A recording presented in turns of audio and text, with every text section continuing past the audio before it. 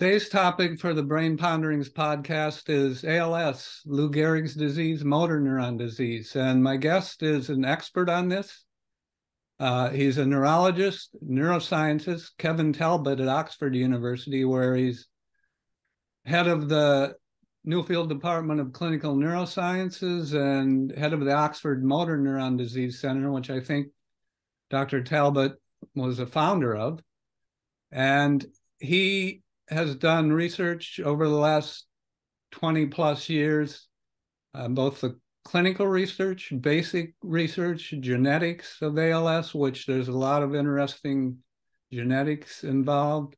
And today he's going to tell us about his clinical experience, how he diagnoses ALS, um, something on demographics and risk factors, and then we'll get into the genetics, what he and, and others think are going on in the, the motor neurons that degenerate in ALS. And then finally, what treatments are available now and what's on the near term and maybe more distant horizon. So, Kevin, it's, it's good to have you on this podcast. I know um, from experimental standpoint, our if not directly, sort of indirectly, our paths have crossed because we have a lot of interest in some of the same mechanisms that may be happening in neurons in other neurodegenerative disorders, Alzheimer's, which I worked on a lot. Yeah, well, so can you first for the uh, invitation to to participate? I'm very glad to, to be doing it. Thanks. Can you can you first talk about well maybe talk about your own background? You you spent you grew up in England and you've stayed there. Uh, pretty much. So yeah, I mean, I, I grew up in uh, London. My parents actually uh, were both Irish, so I'm I'm genetically Irish, of which I'm very proud. And um, you know, I, I, I had a conventional kind of South London childhood, and uh, became interested in science. Although I was interested in everything really. Uh, wanted to be a physicist initially. I, I really thought particle physics physics was what I wanted to do, but actually I took uh, a year between school and university and went off and worked in a hospital in Jerusalem.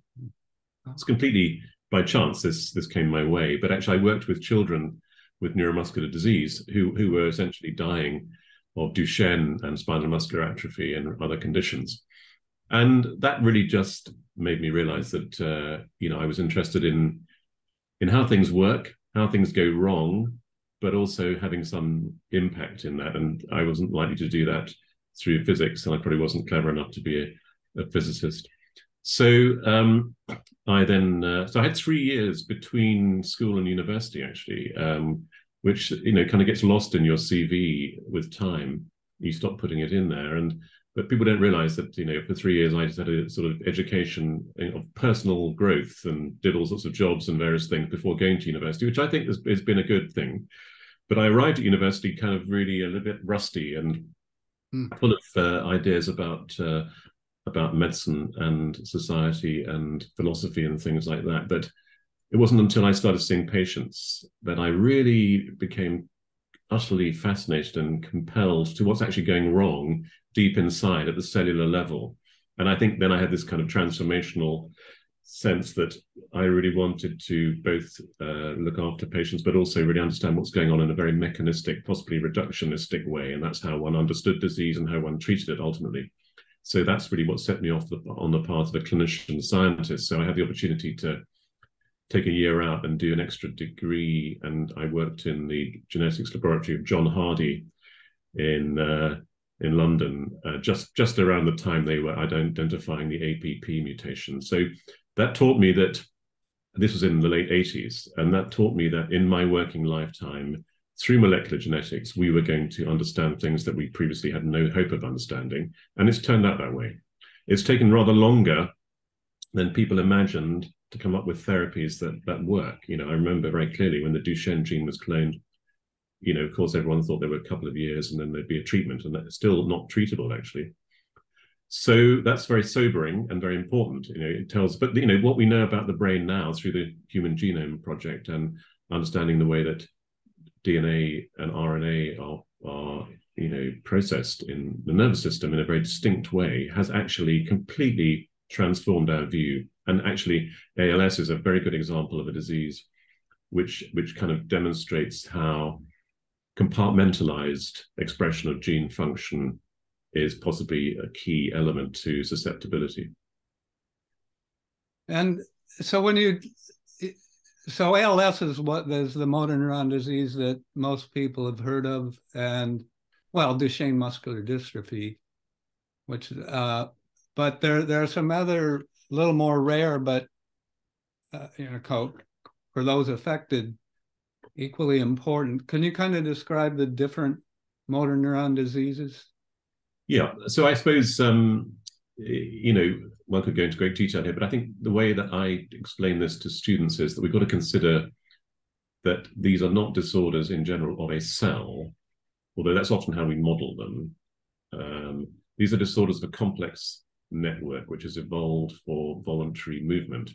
And that network has many, many millions of connections and oscillations and ramifications that begin in the motor cortex with all the inputs into the motor cortex descend as the corticospinal tract and then synapse on you know uh, motor neurons in the spinal cord then they go out to muscle. So an individual simple movement requires millions potentially certainly hundreds of thousands of computational events. So we have to think of these diseases as diseases of a system in my view. That's a fundamental concept. If we just think it's the cell that's gone wrong we're going to miss the whole point. So we divide the system into the corticospinal tract, the upper motor neuron, and the lower motor neuron, the motor neuron in the spinal cord, going out to muscle as the motor unit. So there are diseases of the motor unit, and ALS is a disease of both the corticospinal tract and the motor unit. That's very, very important. So it's often referred to as a neuromuscular disease, but actually I think that's not a good term. It's a corticomotor neuronal disease. Spinal muscular atrophy is a disease of the anterior horn cell in the spinal cord and its connection to muscle. So it's a very pure disease. Hereditary spastic paraplegias, of which there are 80 or 90 genetic variants, are pure diseases of the corticospinal tract. So there's there's a there's a system, and diseases sometimes uh, are manifestations of polarity of the system. So you may have an upper motor neuron predominant form of ALS, or a lower motor neuron predominant form of ALS, or pure disorders of the upper motor neuron and the lower motor neuron. And that's in itself a fascinating kind of concept that you can actually disconnect one end of the system without actually uh, compelling the other end of the system to degenerate.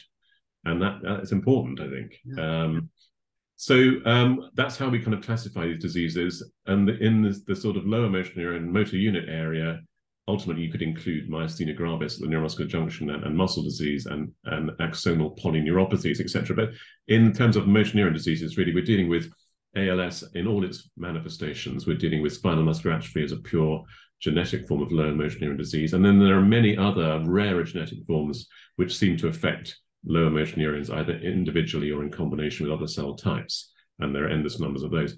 But essentially, ALS is the archetypal and commonest form of motor neuron degeneration. That's why I really uh, I work on it. I used to work on spinal muscular atrophy, as I did my PhD on. And that was a tremendous training ground for understanding precision medicine approaches, how genotype phenotype correlations arise, how you model disease in mice and other model organisms, and ultimately how you understand how a housekeeping gene, like the SMN gene, might lead to um, a specific disorder of a particular cell and its connections. But I have to be very clear that 25 years after the gene was identified, there is a very good treatment for SMA, but we're still arguing about what the function of the SMN protein is in a motor neuron. And there are two camps those who think that it's something wrong with motor neurons have a higher vulnerability to the canonical mechanism of SMN function, and others, and I'm in this camp, think that it has a specialized function in motor neurons, probably in the distal axon in terms of local translation, for example. So, you know, there, there's a there's a huge amount that's gone on in the last 25 years, and it's been a been a fantastic journey so far. And can you talk about uh, the demographics of ALS and risk factors? Yeah, well, um, that is a very interesting question, really, because I mean, the epidemiology of ALS, uh, certainly at a sort of high level, crude level, suggests that doesn't vary very much really from population to population. Now, I mean, the only populations that have been studied properly tend to be those of European genetic heritage. In North America, in Europe, And typically, ALS has a, an incidence of two per 100,000 per year. So, two out of every 100,000 people in any population per year will develop ALS.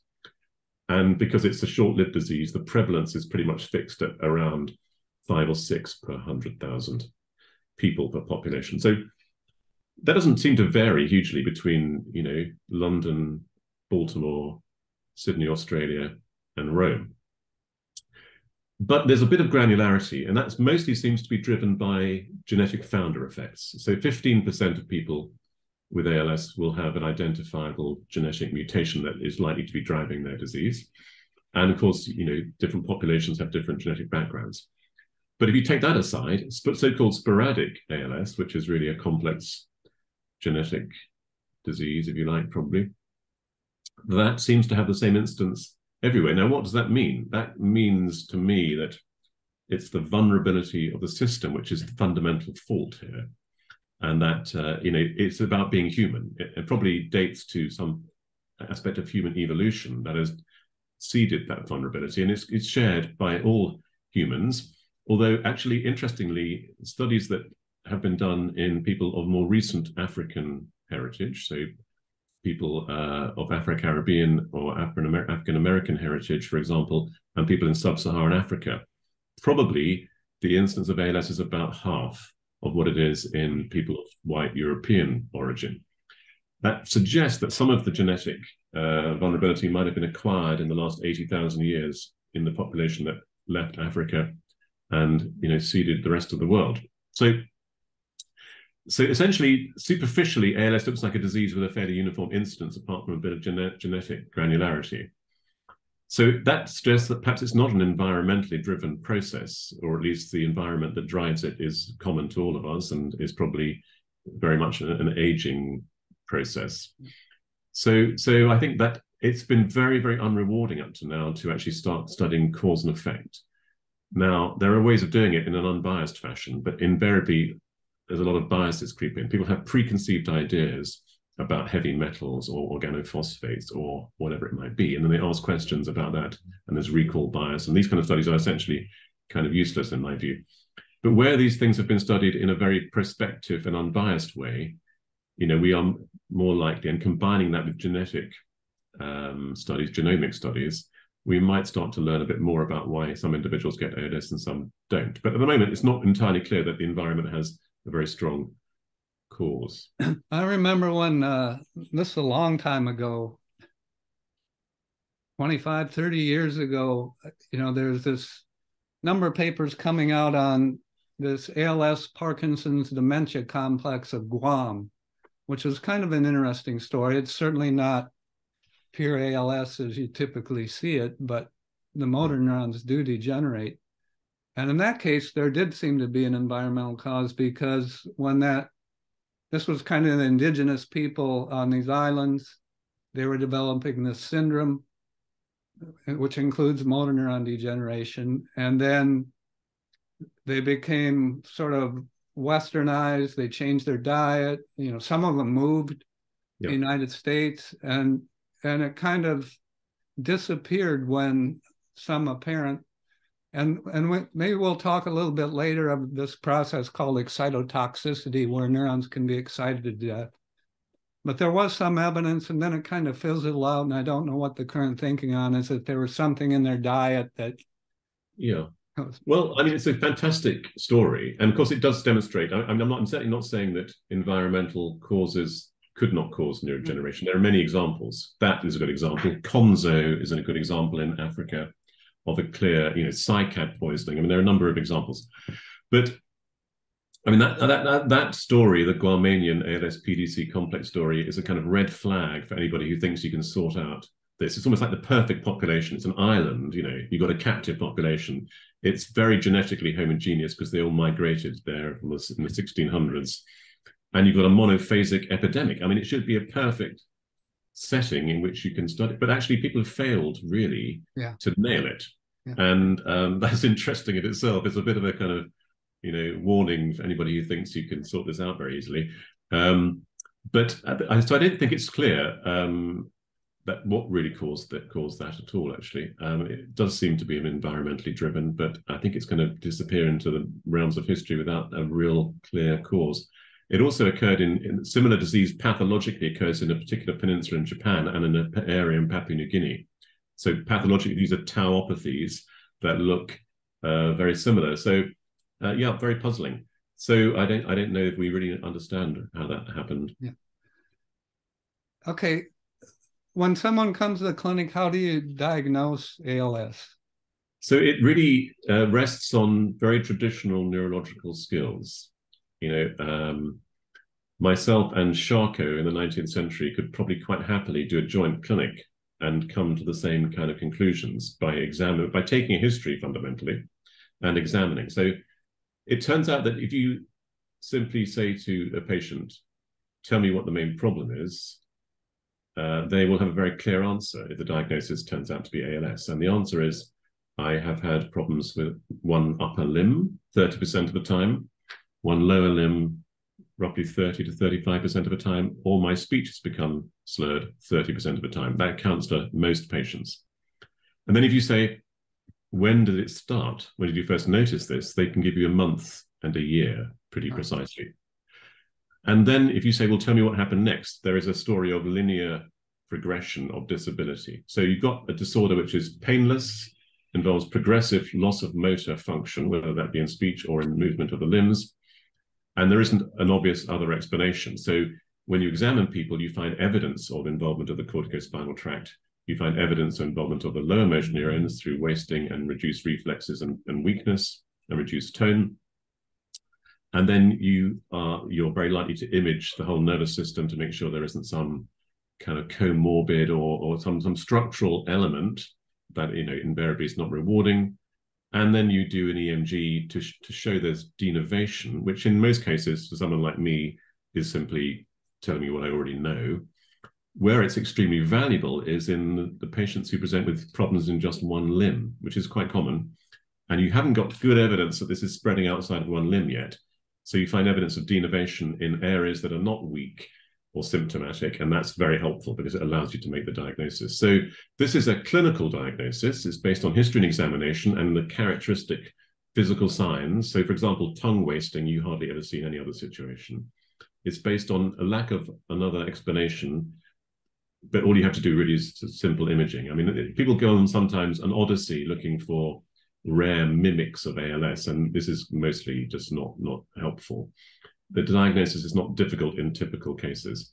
And the EMG is there to support the diagnosis, but it's not a diagnostic test. That's very important. And when I've seen errors made, it's because people overinterpret the EMG. So this is a disease that's made by an expert neurologist, a diagnosis made by an expert neurologist who recognizes what they're seeing in front of them.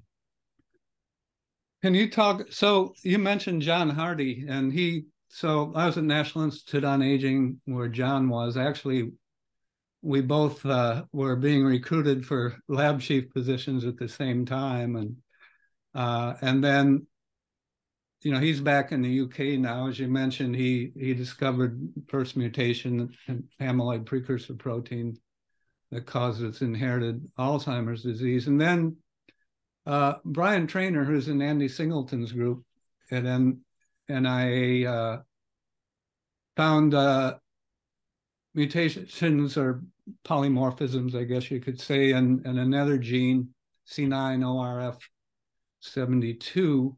Can you talk about the genetics because it's it's really proving valuable? You mentioned early on that, there's been you know a little bit of disappointment in moving clinically from identifying a gene and then trying to understand what that mutation is actually doing in the cells to developing a treatment. But on the other hand, we have now, you know, through your work and a lot of others, some ideas of, you know, the complexity of ALS in terms of genetics and the complexity then in terms of mechanisms.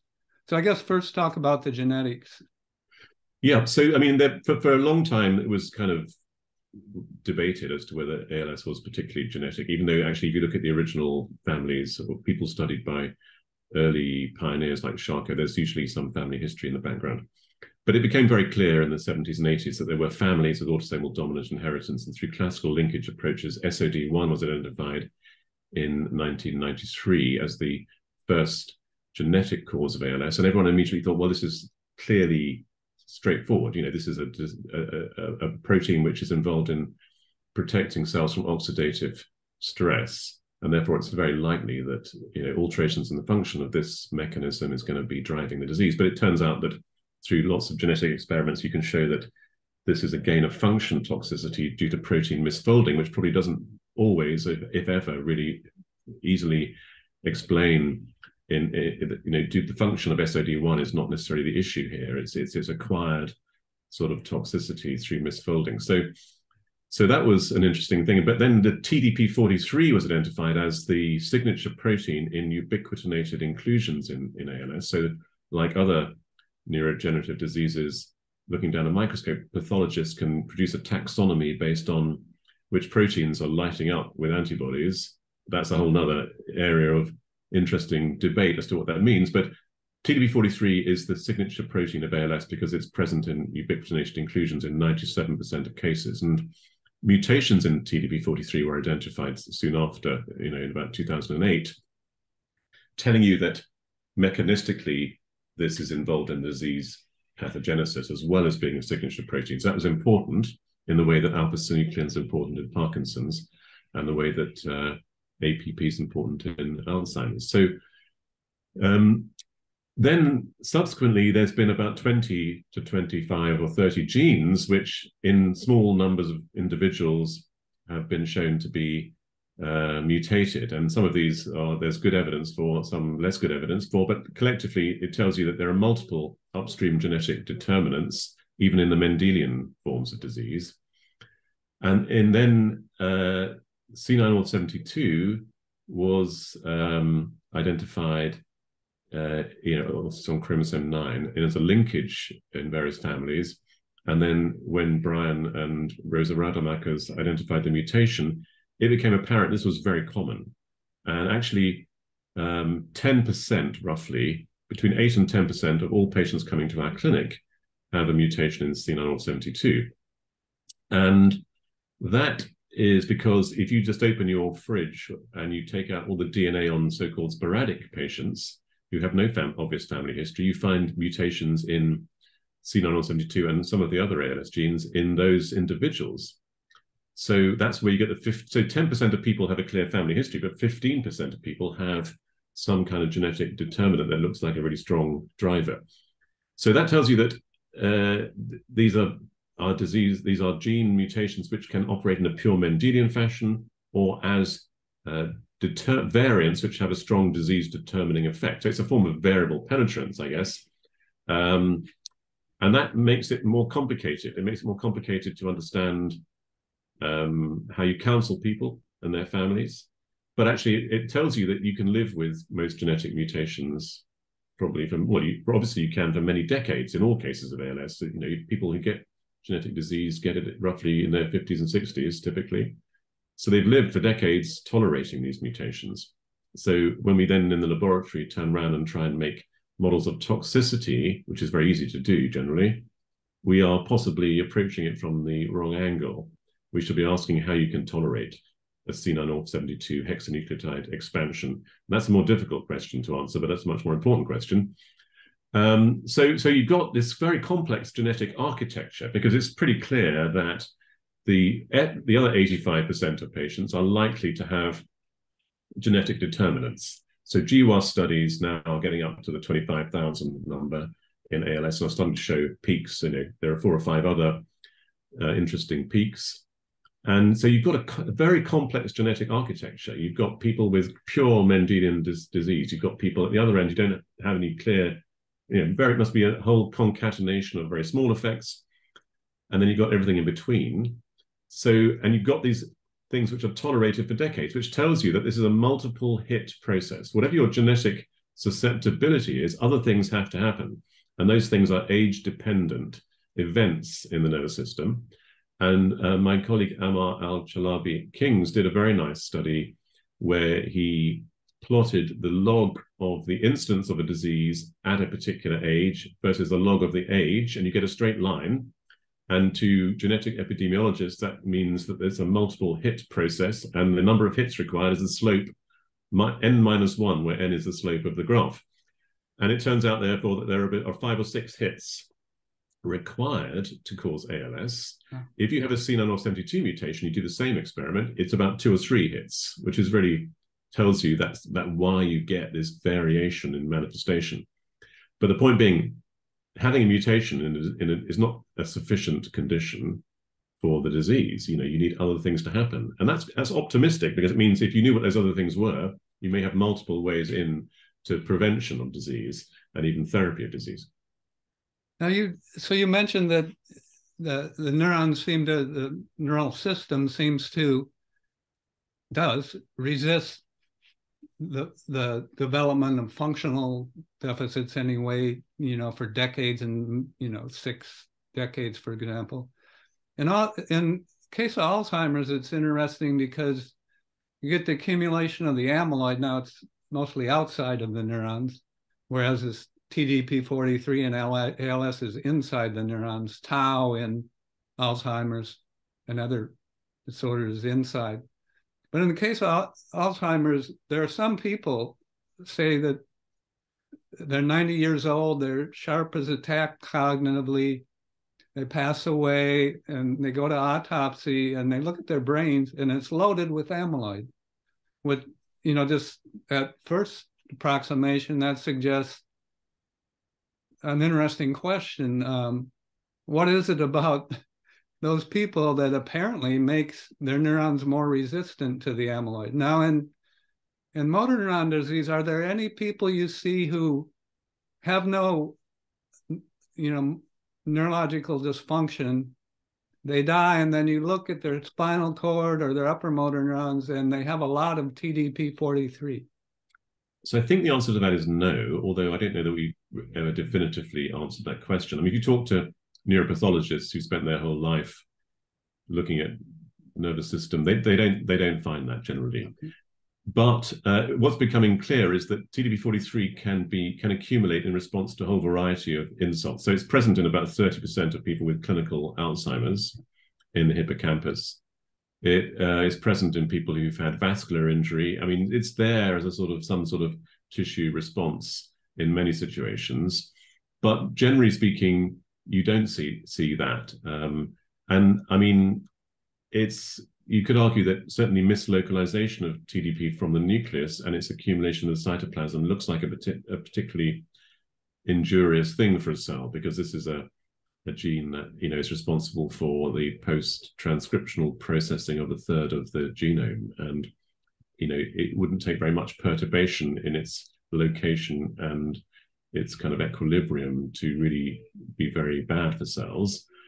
So, um, I mean, the the whole issue with Alzheimer's and indeed with Parkinson's, it's very clear in both of those diseases that the the process begins decades before the patient will present to the clinic it's a, it's an it's one of the most important unanswered questions in ALS as to whether the same thing applies, or whether this is a disease which arises out of essentially a normal nervous system and rather abruptly causes complete catastrophe. So the C9orf72 mutation is very helpful in that regard because it's enough, it generates enough of a sample size for you to start studying people who are carriers of the mutation who may be some years before they might get the disease. So we, we and others are building cohorts of people and then studying them using you know proteomics in the CSF, but also things like magnetoencephalography to look at oscillatory network dysfunction to see whether this is something which is occurring, you know, five or ten years before they present, yeah. or whether it, you know they're absolutely fine, and then six months before they go and see a neurologist, something starts to go wrong, which would be the pessimistic answer because you'd really like to have a window of opportunity in which you can intervene that might be years uh, before you to try and prevent that clinical horizon from from being hit. Now, the, the most interesting kind of mechanistic finding in, in, the motor neuron disease research, when you compare to say Alzheimer's or Parkinson's, is this the nucleus. And you know, you mentioned the TDP43 is normally in the nucleus, and then in disease, it's outside and it's aggregating in the cytoplasm and apparently, you know, playing a role in the demise of the neurons. But then the um, C9orf72 story is also interesting from the standpoint of nucleus. You want to talk about that? Yeah. So, I mean, broadly speaking, if you look at the the known function of the 25 or so ALS genes, they divide into three groups. They divide into groups that are involved in RNA processing. That can be transcription, translation, local translation, transport, translational arrest during cellular stress, and all sorts of things. The second group are, are, are genes that seem to encode proteins involved in axonal transport. They're a smaller group, but a, a kind of it makes sense. You know, these very long nerve cells yeah. might be vulnerable, and they tend to be low lower motor neuron predominant disease, which also makes sense. So there's some of those, and then thirdly, it's genes that encode proteins involved in proteostasis itself. So you've got three apparently kind of distinct compartments that either are all ways in to cellular vulnerability or ultimately interact with each other, which is probably more likely. So, you know, an, a, a motor neuron, uh, if you think of it as a sphere and then a long process, uh, and you calculate on the back of an envelope what a percentage of a cell volume is in the process, it's more than 99.5%. And we spend our whole lives looking down the microscope at the cell body and going, oh, look, there's protein misfolding and it's leaving the nucleus. But of course, what's really important in the function of that cell is the axon and the synapse, which we have spent less time looking at. Um, so the question is, do these nuclear proteins and these RNA binding proteins like TDP have a function that is is also distinct in those kind of cells, and they are all found found in the axon. They're found as part of ribonuclear protein complexes. TDP is found in the cytoplasm, where it's involved in stress granule oh. um, formation. So I think this, the whole story of RNA compartmentalization and response to cellular stress is a really critical part of this, not just the nuclear depletion. I mean, the nuclear depletion, if you really you model that, it's catastrophic, really. I mean, if you if you remove TDP from the nucleus, that's cell lethal typically. So um, that might might happen, and you might see that in neuropathology. But whether that's the real event that's sufficiently proximal to the beginning of the disease to either be therapeutically tractable or to really explain the disease, I think is another matter. What definitely happens is that TDP43, which does have a sort of uh, equilibrium uh, of cycling from nucleus to cytoplasm, as you know, nuclear localization component, etc. Um, once you disturb that equilibrium and it starts to be removed from the nucleus and becomes hyperphosphorylated in the cytoplasm, then you, you, you get this loss of balance and progressive nuclear depletion, and that is definitely harmful to the cell. The nucleus pore uh, is also seems to be important, and that's where C9orf72 comes in. So Jeff Rothstein and others have highlighted abnormalities in the nuclear pore complex. And so, so the relationship between RNA and how it is processed and transported out of the nucleus into the cytoplasm, how it's translationally repressed in times of cellular stress, all of these things seem to be important in motor neurons. The problem, actually, as with many pathological problems, is what comes first? What is the you know, what are the sequence of events? And when you look at neuropathology in the brain, of course, you are often, well, you are looking by definition at the end stage. So I think the we are not very certain about the sequence of events. We have a lot of phenomenological understanding now. We have an embarrassment really of different potential pathways that could be going wrong, but we don't understand what you know is the main driver to the disease. That, that's really, I think, what's holding us up at the moment. Uh, mitochondria and calcium.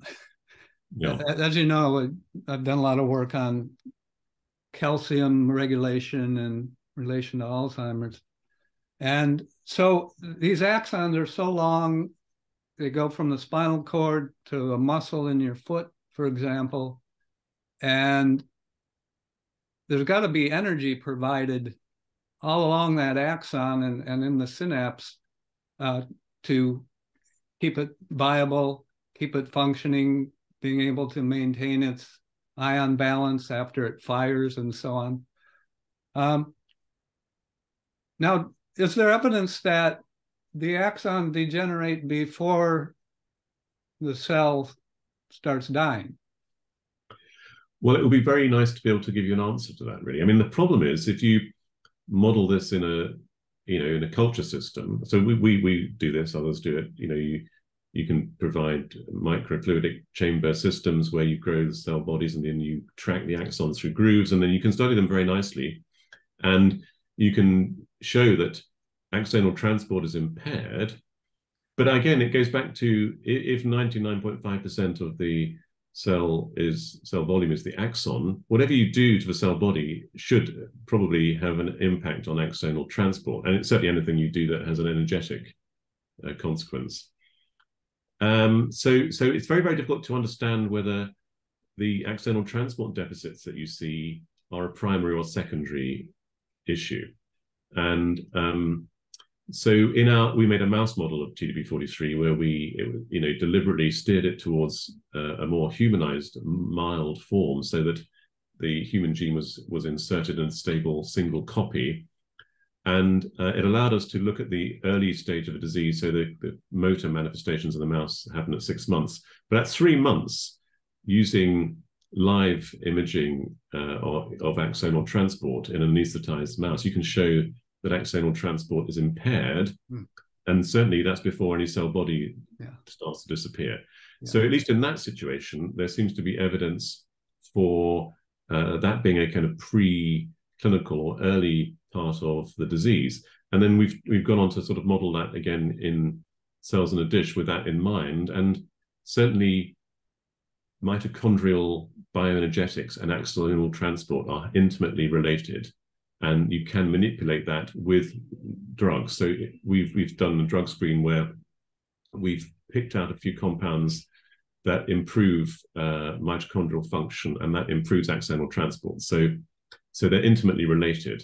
Yeah. Um, and you know, my guess is that mostly we're probably this is part of a, a cascade of things that are all happening at once, uh, rather than the very the primary driver. Now that the only drug that been shown to have any effect in maybe slowing down the progression of ALS is uh, a drug that reduces the amount of glutamate at the synapse. Yeah. Um, it's called Riluzole. And there's been a lot of thinking that there's hyperexcitability of neural networks that's occurring before neurons start to degenerate, whether it's Alzheimer's, Parkinson's, or even ALS. Um, c- can you talk about? Okay, so that's one success. Although this drug isn't, it has some beneficial effect. It's not real dramatic. Can you talk a little bit about, I guess, the failures of various drugs? Because you're talking about all these mechanisms, you know, mitochondrial, you know, energy mm. depletion, impaired transport, uh, altered calcium regulation, uh, and so on. But as as unfortunately has occurred in a lot of neurodegenerative disorders, things that seem to have some effect, beneficial effect in cell culture and animal models, when you go to the clinic, uh, they seem to be ineffective, or if they have any effect, you can't pick it out just maybe based on hmm. the fact that one thing is once a person's diagnosed with ALS, those are already neurons degenerating. So the treatments have, you know, by definition, is started well into the disease process, where in a lot of the clinical, or sorry, preclinical models like uh, SOD1 mutant mouse, for example, usually actually the treatments are started before the animals start to develop discernible motor dysfunction. So it's more of a prevention or, or delay in the onset type of scenario versus actually treatment. Mm.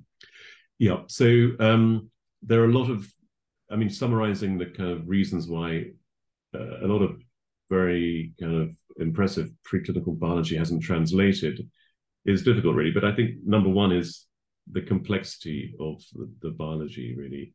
So I don't think anybody like me thinks that what you know one drug is going to make a difference in this disease really i mean it might do if you get some sort of magic bullet if you're lucky but that's that's not looking like it's happening no cancer is really treated successfully with one drug for good reason because there are lots of escape mechanisms that tumors use etc so so i think you know we we we our model of let's take a drug and try it in patients who are as i've mentioned hugely heterogeneous in terms of etiology and expecting that to work is flawed full stop but the way the drugs are selected, historically, it's either been because, so I mean, pharma, you know, they have a drug and they think they know the mechanism of action, and they go looking for a disease sometimes in which to to apply it, and um, you know that's understandable, but it's not necessarily logical either. And so, so riluzole, for example, was has been tried in lots of different things, and and it was never, you know, didn't, didn't come out of any preclinical ALS research. It came out of a potentially plausible mechanism. Yeah and um, it's never really shown much effect in any of the ALS models. Really, it doesn't make SOD mice live longer, for example. Um, so it does seem to have an effect, but it's extremely modest. So that when we see patients in clinic, actually, I can't unless I remind myself by looking at the notes, I can't tell which who's on riluzole and who can't. And the patients don't feel better; they just maybe get worse more slowly, but it's pretty subtle. So it's very far removed from what we really need. And um, again, you know, the assumption is, well, riluzole is working as a glutamate antagonist. Well, it has other functions. You know, it's got effects on the sodium channels and calcium channels probably as well. So, you know, it's a it's a bit pharmacologically dirty, and no one's really sure how it's working. And once the drug goes through a trial, it gets licensed. People stop thinking. You know, they stop saying, well, actually, maybe we should really understand how riluzole is having an effect, and maybe we can get better forms of riluzole. But that process doesn't really. It's the drivers to that are not there in the commercial world. So you have a kind of crazy kind of uh, system where there's a, there's a sort of anarchic approach to this yeah. historically, where where everyone's doing their own little thing, and each pharma company is is modeled to produce a drug that's going to get out there and be in the market. What you really need is only you need you need to have a deep understanding of how a drug might be working. You want to know it's engaging plausible targets that are ALS relevant. So you want it to really perform across a whole range of models, I would say. Um, so that's the approach that we are taking now, you know, of, of looking at multiple genotypes, multiple model systems, zebrafish and cells and mice and all the rest of it, trying to build evidence that this is a reproducible effect that's disease relevant. And and if you do that, you have a slightly higher chance than if you go go into patients. You want to show that the drug is really engaging the target you, you, think it's engaging in an experimental medicine study before going into a big study of efficacy.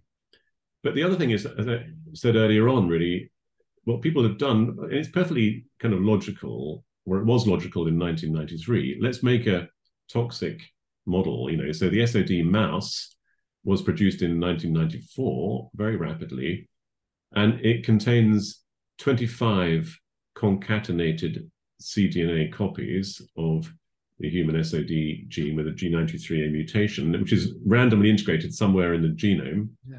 And it churns out about tenfold uh, excess of SOD protein. And actually, if you look hard enough, you can find problems with that mouse in the neonatal period. Um, and so it has a very aggressive disease, yeah. which almost certainly what it's done, that, that model has loaded the end stage yeah.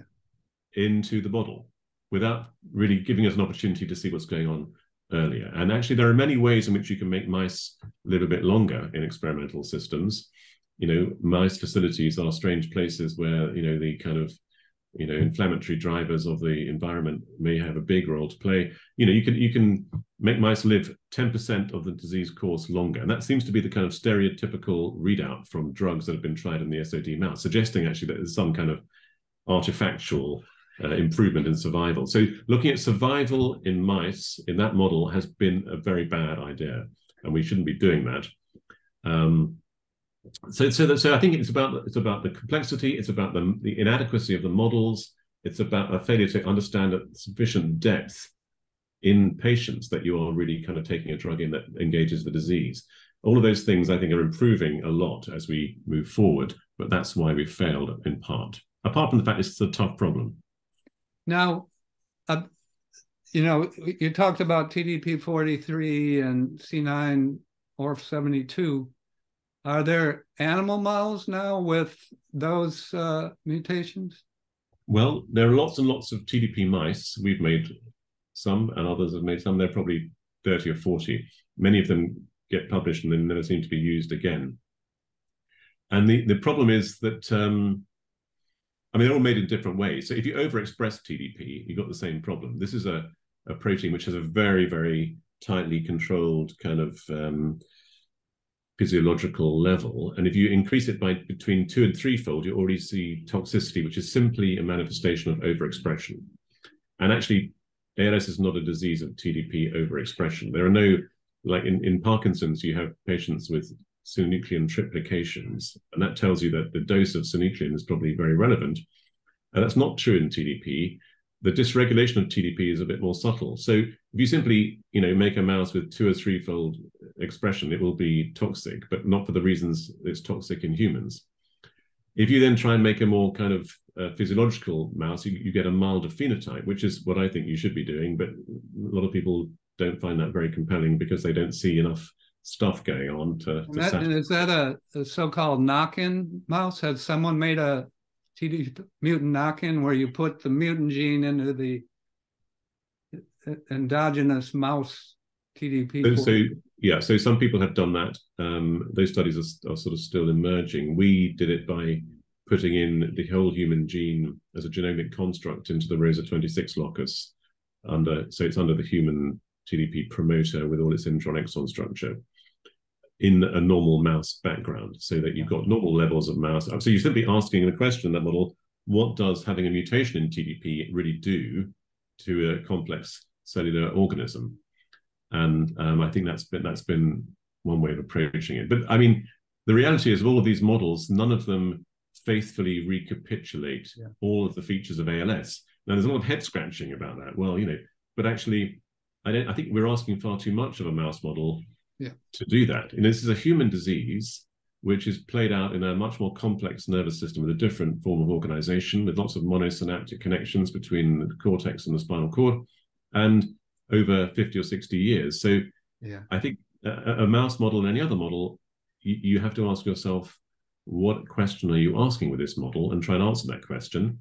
And you're not going to model a disease like ALS or Alzheimer's, and it's true in the Alzheimer's field too. The models have not quite you know, achieved what people had hoped initially. So we have to have a very different um, and more intelligent view of modeling. Now, one thing that, you know, so there's been this notion that people who are athletic and maybe, you know, low body weight, low body fat are at increased risk for ALS. Is that, is, did that hold up? Is that a real thing? Well, I think it is a real thing, but um, initially those kind of observations came from people like me sitting in academic centers with clinics, and you know, you start seeing uh, people who are, you know, performing uh, professional level as an athlete or in their special forces or whatever it might be, you know. And so we we all kind of latched on to the idea that oh yeah, these are fit people there's a confirmation bias problem that's going on there, which one has to be very careful about. When you do epidemiological studies and you systematically ask uh, about people's lifetime exercise, which is quite a difficult thing to do anyway, then there is a signal, but it's much, it's quite subtle. So I think that there is epidemiological evidence to support it, and there is kind of clinical evidence, if you like, what you see in front of you. I think I've come to the view that the population of people who get ALS are not exactly representative of the whole population. They are shifted slightly towards being thinner, having fewer comorbidities, and overall being more active. There are still plenty of couch potatoes who get ALS, and not every marathon runner gets ALS. So it's not there's no simple relationship here. It's a complex relationship, and but there is a signal, and so I think where does that signal come from? In theory, there are a number of possible explanations. One is that uh, it's got nothing to do with the exercise at all, really. That that actually being good at what you do physically has reproductive value. Uh, it has a value in reproductive fitness. So that the, the the variants that promote athleticism are likely to be, you know, um, selected for in a population. Now, if those variants happen to have a deleterious effect in aging, there will be no selection break on that. So, so you know, it may be that the people who uh, have an excess of um, the kind of architecture that makes them fit in their nervous system uh, pay a penalty, have a small penalty to pay in getting a higher risk of ALS. But it's not if they didn't do the exercise at all, it wouldn't make a difference. That's one one extreme. The other extreme is that you know if you didn't do any exercise at all, whatever your genotype, you would never get ALS because you know it's the exercise that's driving this. You're sort of wearing out your nervous system in some way, or you're producing a sort of you know um, tsunami of you know oxidative stress through exercise or whatever it might be. I mean, that doesn't make a lot of intuitive sense in that there are so many people who, you know, do a lot of exercise who never develop any any kind of problem. So in the middle, you've got something perhaps that might make make sense, which is that your genotype does interact with lifetime activity and exercise and increase, you know, it's one of those five or six ah, yeah. steps, you know, that that um and there is some evidence for that in C9orf72, although I think it's very incomplete and very early. So, so, so you know, I, I personally am open-minded. Um, I think it's by no means certain that exercise itself drives ALS, but there is there is a relationship. It's it's rather subtle, and that means that there is an actionable outcome here. You know, we don't start saying to people, "Oh, well, you know, you shouldn't exercise," because that would be catastrophic. And actually, if you look at, I've had people, you know, I've seen two or three thousand people with ALS now, and I've seen all sorts of behavioural responses to getting ALS. Some people, you know, give up the ghost and sit in a chair, uh, even when they've got minor amounts of disability. And those people actually deteriorate, you know, a bit more rapidly than you might anticipate sometimes. Other people who build a gym in their garage and, you know, exercise 20 hours a day, and they don't get worse more quickly.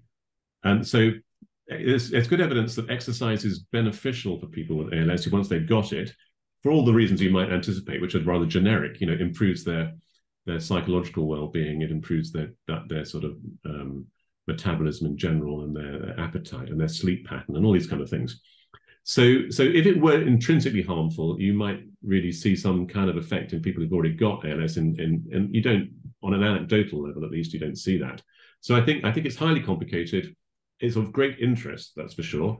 But uh, my suspicion is that it might simply be a marker for a genetic profile and a wiring diagram in the brain that you know is good in early life, but maybe not so good in later life.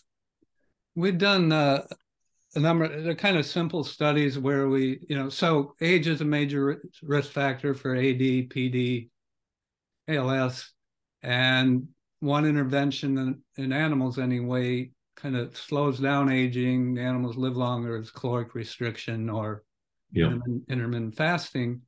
And so we we'd taken mouse models of AD, PD, stroke, and found that the caloric restriction, intermittent fasting is beneficial. It, you know, one started very early on and, and, kind of slowing down the progression of the disease or onset and progression. But then when we tried it in what is probably not the definitely not the best model of ALS, the SOD1 mutant mice, it actually made things worse. You know, so if if we uh, put them on intermittent fasting, it didn't change the age of disease onset, but once they started to show motor dysfunction, they went downhill more quickly. Well, that does make sense because we know that weight loss at presentation is a poor prognostic mm. factor. And that could be because, you know, you're consuming muscle as food or something in a simplistic way, or it could be that it's simply a marker for the aggressive nature of the disease. But but it's it, there are active studies with the intervention is high calorie diet uh, uh, to to see whether you can actually shift survival that way. Um, we, have done work looking at UK Biobank, where you've got half a million people who've now been studied for 15 years and who gave DNA at the beginning. So I was one of one of these and about 500 of them have developed ALS in the last 15 years. And if you look at their lipid profile, it's not uh, it's not the same as the rest of the population. And then we went into our own population in the clinic and got their old records out, going back decades before they get the disease. And you can see that their lipid profile, in, in odd ways, sort of shifts some years before they get ALS, suggesting there is a metabolic process going on in the few years before you get ALS. What exactly that is, I'm not sure I know, but it does involve cholesterol and other lipids. So, so some shift in in um, metabolism does seem to be part of the the program of the disease. And and what what is this shift specifically? In Those, is it higher cholesterol in those that don't? Or... Well, I mean, because we were looking at routine uh, bloods available as part of normal clinical care, all we all we were able to look at, you know, is HDL cholesterol VLDL, etc. So so there's a there is a shift, you know, uh, you know, in in total cholesterol and also in HDL that it's it's not easy to make sense of as such, but it's it's a reproducible finding. But actually, what you'd really like to do is to look in much greater depth, and of course, membrane lipids and in, you know, including intracellular membranes may be the point here, rather than intermediary metabolism as such. Yeah, yeah, we did. So you talk about membrane lipids. We did a little work on um, ceramides. Yeah uh, long chain ceramides. And actually, we did a study in ALS uh, and got some tissue from Jeff Rothstein's group to do that and found some abnormalities there. So, mm. um, okay, to, to, finish up, you know, you talked about the problems in in drug development, the way it, you know it hasn't worked, and then maybe some of the reasons it's not working. Now, in the case of, of individuals who have a gene mutation that well, I guess causal gene mutation for ALS. What's on the horizon in terms of a gene therapy? Yeah, so there I think one can be much more positive. Um, I mean, conceptually, that you know we have the uh, the kind of tools now to uh, modify gene expression uh, using antisense, uh, using ultimately um, CRISPR, you know, if that becomes safe as a clinical application. So, so the concept is there. Um, the proof that it might work has the SOD mouse has been helpful in that regard because it showed that antisense against SOD does um, delay onset in that model and, and improve survival. And uh, Biogen, um, Ionis and Biogen produced uh, an antisense called tofersen, which um, although it was said to have failed in its meeting its endpoint in clinical trials, actually, as the patients have been followed up, it's clear that it looks like it's having an effect in slowing disease progression. So the concept that this might modify disease natural history, I think, is there. The next challenge then is to apply this drug as early as possible, because as we've been discussing, once you have established disease, I mean, so so the problem is you know, patients are in some kind of compensated dysfunction for a period of time. They wouldn't know anything was wrong, but something's going wrong. By the time they, they hit clinical um, horizon and they come and see a neurologist, they have used up all their compensation. So that's why you see such rapid change because you're just dealing with a system which has nowhere to go apart from downhill. So if you shift all of that back to some years before the decompensation has been you know played out and you apply the drug, you could see very dramatic effects in, I think, in, in preventing the disease. So that's the challenge really, which is if you can show that it has any effect at all, is then how do you apply it in in the well population of gene carriers? So the problem you got there is, well, there isn't always a tight genotype um, age of onset relationship. I mean, it can be in some families pretty good, but you know, so you're likely to want to start treating people, you know, in their 30s or 40s, you know, and so, is it safe to do that? Knocking down uh, SOD1 in an without allele specific knockdown. So yeah, that's what they're doing, down to 20 or 30 percent of, of levels. Well, this is a this is a gene which is highly expressed in the nervous system throughout life. There's likely to be a reason for that. Evolution doesn't really, you know, it's not promiscuous in that regard. I mean, if if, if SOD1 is expressed in the brain in the in old age, it's there maybe for a reason. So I think there there are all sorts of questions about you know if you manipulate a, a gene like SAD1, what are the long term consequences? So being given the permission by the FDA, etc., to apply that drug as a clinical treatment to well people in you know young life or you know before they hit middle age, that's a big issue. Yeah, uh, you have to really show this is going to be safe, and that's the challenge. And then you have probably have to have markers which tell you that you know, the disease might be starting. So really good biomarkers that say, well, okay, you've got an SOD1 mutation. You are now five years roughly away from disease onset. We're going to give you the antisense. We don't have those markers. We have neurofilaments, which tend to become elevated about a year before the clinical effects. So there's already cells dying in that regard. That's not good enough. So one of the things that we're doing with our C9orf72 population is starting to look for things that might be occurring really very early, might even be leaking out into the systemic system in the hope that you might ultimately, with TDP, for example, be able to produce some kind of point of care testing that could be applied in populations as a screening tool, saying, well, actually, you know, in your system, there's some leakage of something that might be important, you know, send you into the hospital and have more sophisticated tests. I mean, that is the, the long-term aspiration, I think, so that you know when you can apply these antisense therapies. C9orf72, there are several antisense trials. Biogen did a trial that didn't have a positive effect. And it's possibly tied up with the chemistry of, of the antisense. It's not entirely clear. Wave is a company that's doing a trial at the moment. We are one of the centers.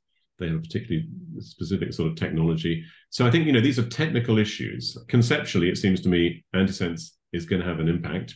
It's a question of making it safe, effective, hitting the target with specificity.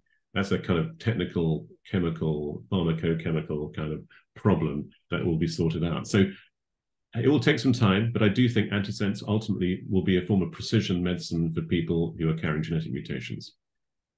You know, I've often thought you know, so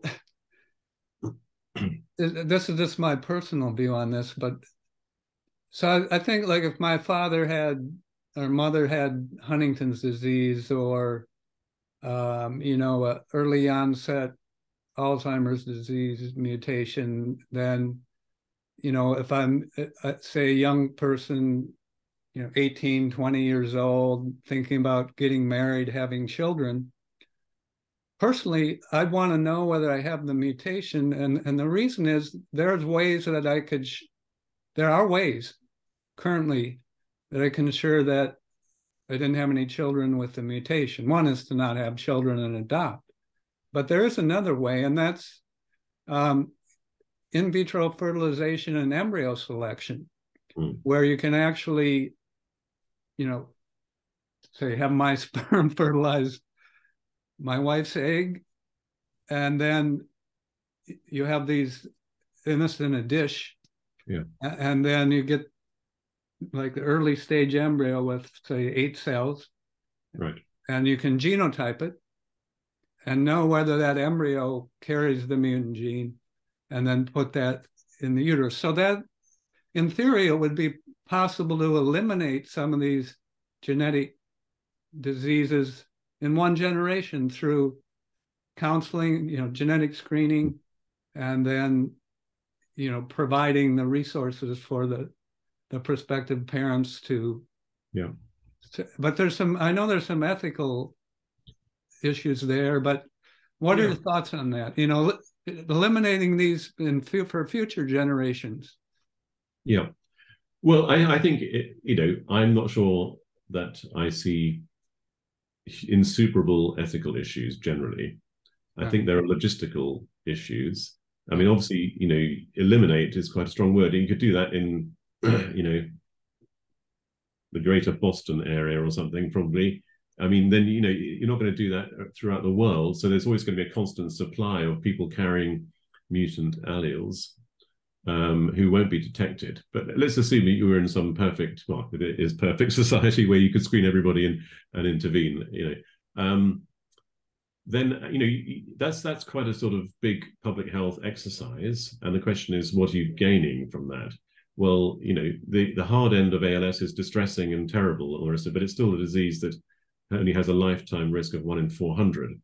So to tilt your public health resources at that um, when you're fighting COVID and heart disease and diabetes, etc.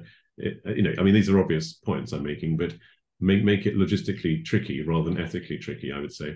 I mean, SMA is an interesting case in point because you know all of these arguments about whether you give AAV gene replacement for 1.4 million dollars a shot or you give nusinersen the antisense for you know three hundred thousand dollars a year, you could screen every single woman pitching up at an antenatal appointment for carrier status. And, you know, one in um, 40 women will carry the SMN mutation. Then you screen their partner. And then, you know, if they carry the mutation, you then do the appropriate tests and you could terminate or offer termination. You could eliminate SMA like that and not have to worry about whether you give antisense or AAV. But that's not really being discussed. And it's seen as an ethical problem. And I think it's because there's so much investment in the idea that you can now cure this disease. I mean, it's a, it's a miracle of molecular therapeutics, actually, SMA. It's a really remarkable story. But it's tended to kind of inflate the idea that we've got the power to kind of deal with all these things. The public health approach to this would be, as you describe, you know, would be to find out who's carrying the gene mutation and offer them a way to not have a child in the first place. And personally, I think that would be quite a sensible way to go. And so that's presented as an ethically difficult barrier. I, I struggle with that really. I mean, obviously that may just be my view of the world. Um, but you know, that is a tractable project really that could be yeah. pursued. Yeah. I think so too. We're on the same wavelength there. I actually wrote an article on this. Uh, but okay, so great. We've covered we've covered a lot of ground. I, I, appreciate Kevin you taking the time to do this. I hope the I'm going to put in the the um, description section some links to some review articles, including a couple of years. And what about um, people who someone who's diagnosed with ALS are there ways you know so you're in the uk so you'd know more about there. Are the ways for that are they made aware of ongoing clinical trials uh, when they're diagnosed? Yeah um, i mean so there are still rather few clinical trials and so rather few patients get into clinical trials but they als care in the uk is about 70 or 80 percent of people attend one of about 22 or 3 special centres funded by the MND Association. So we are a network of clinics which do clinical trials collaboratively, and we meet once a month and talk about studies. So uh, patients should all have easy access to trials when they exist. One of the one of the problems, though, is that trial criteria are often quite restrictive for, for good reasons. But if you've got very rapidly progressive disease, or if you've got very slowly progressive disease, you're going to be excluded. Um, so, you know, trials are looking for populations of patients in whom there's enough going on to assess change, yeah. who are able to participate because trial participation is arduous. So, you know, it's, it's a complicated sort of story, but um, certainly what's very striking about ALS patients is their willingness to participate in research. So we see about 10% of the UK ALS population. They are so willing to engage in what we're doing. We can do lumbar punctures in these patients, you know, four or five times over a two-year period to get longitudinal biomarker data because they want to help, even though they know it won't help them. So they're, they're an amazing set of partners in trying to help here. And without without our patients, we wouldn't ever get there. So I think ultimately, you know, it will the, the landscape's changing now, and it will change, I think, quite dramatically uh, over the next decade or so. Yeah, good. Okay, Kevin, I hope you have a uh, happy, productive 2023. And you. Thank you very much. Been nice to talk to you. Likewise. Goodbye. Bye.